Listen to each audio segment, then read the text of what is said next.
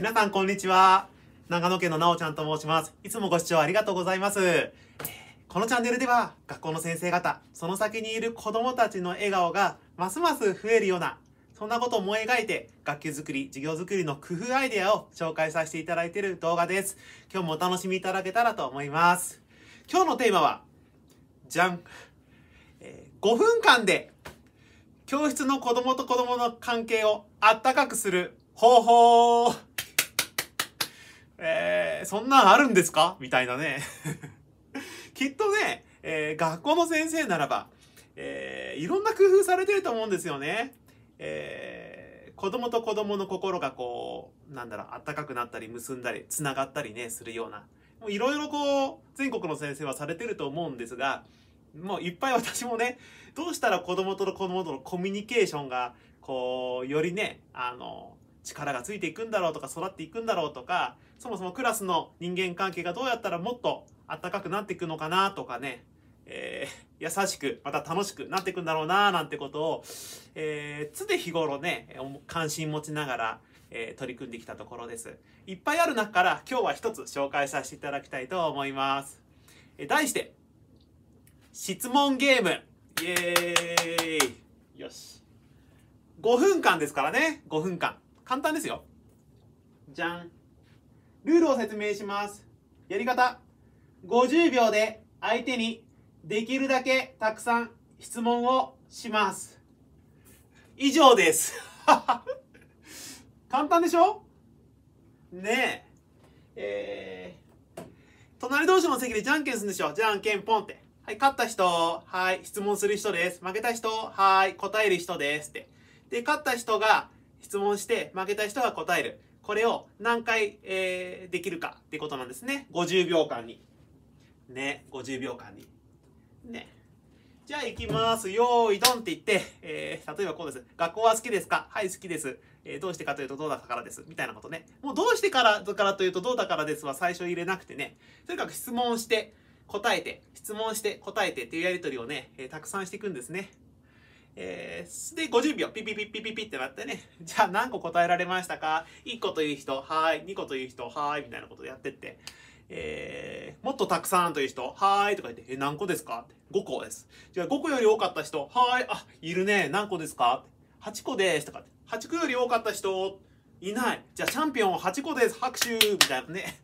そしたら、え、どうしてそんなに質問ができたの？とか言ってまたね、えー、聞いてね、やってもらったりするんですね。じゃあ実演してもらいましょうとか言ってね。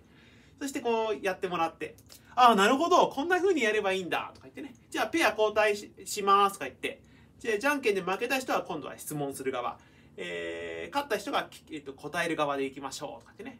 これ、お互いの息をテンポを合わせるっていうのも結構大事なんですね。時間制限があるから。ねえ。えー、で、行くよ、行くよ、とかで、ちょっと待って、ちょっと待って、今頭で考えてるとか、待たない、行きます、よーい、ドン。とか言ってやるんですね。そしたらね、えっ、と、またね、何個です。とか言ってね。で、えっ、と、じゃあ8個です、9個です、拍手とかやるんですね。でね、ただ数が多いだけじゃなくて、1回目よりもたくさん質問できたペアはありますか？って聞いたら結構いるんですよ。はーいって。ねえ、1回目の質問の回数よりも2回目の方が増えた。これ成長ですよね。拍手みたいなことでね、やるんですね。ここに人、この1分間2分間の間に人の成長ってあると思うんですよね。そんなところもこう勝ち付けながらいきます。で、えー、そこのペアでね、やったら、今度は前後でやってみたら面白いですよ。ねじゃあ違うペアとでもできるかな？みたいなことでね。で、またやっていくんですよ。で、えー、はい。でね、えー、1分間の質問ゲームを、4セットぐらいやったらもう教室は明るいですよ。暖かくなりますよ。うん。動きができてね。えーこの質問っていうのは、えーもうこれご覧の皆様は、ひょっとしたらもうお気づきかもしれませんが、人に関心を持つ。ね。質問できるっていうことは人に関心持たないとできませんからね。こういうことを通して、えー相手に関心を持つって問いかける。そして、それを、えー聞く。話す聞くっていうことをこう楽しくできるんですね。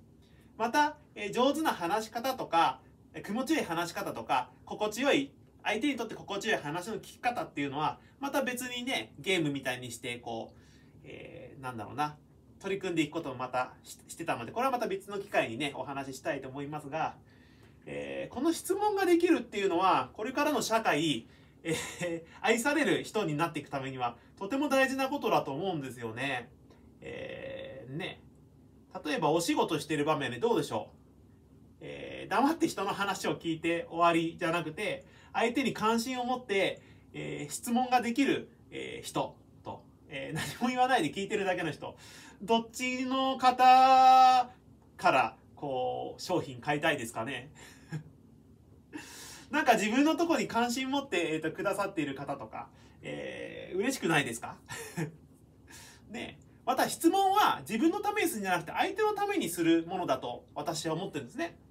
だって人から質問していただくと自分それを答えながらああ自分ってこういうことをが好きだったんだとか自分ってこういうふうに考えていたんだって自分の中で、えーと、考えもしなかったことを問いかけられることで、えー、気づいたりすることができるわけですよね。そういう意味ではね質問ってね実はこう相手からいただくプレゼントだと思うんですよね。なんでね、えー、こんなことにね、質問っていうのは授業の中でとてもこう大事にしていきたいなぁなんてことを思いながらいつもいるんですね。いい質問ができる人っていうのは、えいい学び方ができる人、まあ、いい、いいという言い方がどうかちょっとわかんないですけど、ね、あ質問上手はあの学び方上手だと思うんですよね。ぜひ、えー、子供たちにえー、開いてあげたい才能としてね持ってる才能を開いてあげるためにぜひこの質問力質問力を、えーと、育ててあげたいななんてことをいつも思っております、えー、ぜひやってみてくださいあの楽しいですよ さあ、今日のお話は以上です、えー、この、えー、動画が良ければいいねボタンまたチャンネル登録の方、えー、どうぞよろしくお願いしますえ、今日のお話は以上になります。え、また次回お会いしましょう。最後までご視聴ありがとうございました。さよなら